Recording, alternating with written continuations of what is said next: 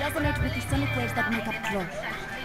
You could beat him. To get enough power for a maneuver like that, you would have to drop the shield around the city. Only until you defeat Klaw. Wakanda can protect itself until then. Trust your people.